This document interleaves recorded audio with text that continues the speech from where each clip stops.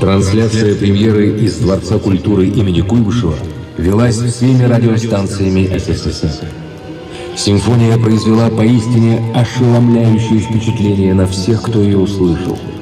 Город на Волге оказался в центре культурного события мирового масштаба.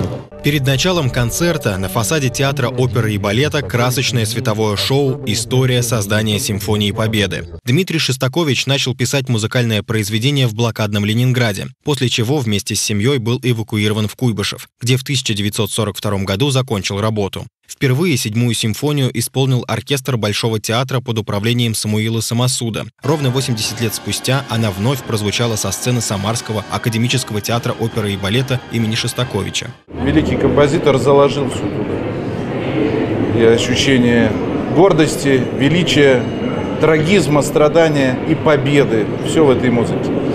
Я думаю, что эта великая музыка стала нашим духовным оружием в разгроме нацизма. Сегодня я очень рад тому, что память об этом великом событии, э, благоговейный трепет перед величайшей музыкой и гением Дмитрия Дмитриевича Шостаковича в сердцах всех жителей Самарской области. В годы Великой Отечественной войны Ленинградская симфония стала символом неизбежной победы, до которой было еще далеко, но в которую все верили и ждали. 80 лет спустя, как и в день премьеры, зал театра оперы и балета был полностью заполнен. Для всех желающих услышать произведение, не выходя из дома, была организована онлайн-трансляция через систему виртуальных концертных залов. Для нас это событие является чрезвычайно важным.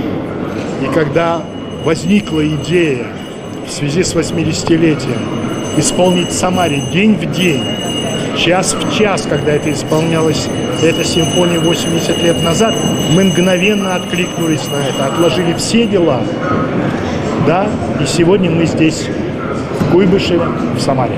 В театре организовали выставку, посвященную седьмой симфонии Шестаковича. На полу разместился подиум, на котором посетители могут увидеть рассадку музыкантов оркестра. В качестве экспонатов представлены документы, фотографии и музыкальные инструменты тех лет. Дополняет выставку видеоэкраны и интерактивные стулья, прикоснувшись к которым можно услышать аудиозаписи воспоминаний музыкантов. Есть э, три таких стенки, которые рассказывают о жизни Шостаковича э, до переезда сюда в Самару, эвакуацию, в Куйбышев, э, о, собственно, его нахождении здесь, о быту, о работе над седьмой симфонией.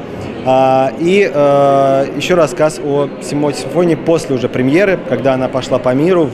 В подготовке выставки приняли участие творческие жители города. Виктория Гаврилова – художник и музыкант. Ее пригласили помочь с оформлением стен. Говорит, наклеила не меньше сотни плакатов. Для того, чтобы погрузить посетителей в атмосферу тех лет, применяли особую технологию состаривания бумаги. Лично для меня, для музыкантов, самое интересное – это ноты, посмотреть партитуры, в принципе. Это самое интересное.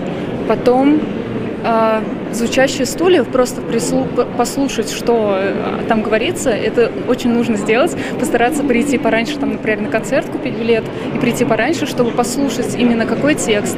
Выставка продлится до конца марта. Увидеть ее могут все зрители, которые придут на любое представление. По словам организаторов, посетить экспозицию можно будет и бесплатно в составе группы по предварительной регистрации в социальных сетях театра. Максим Магомедов, Николай Сидоров. События.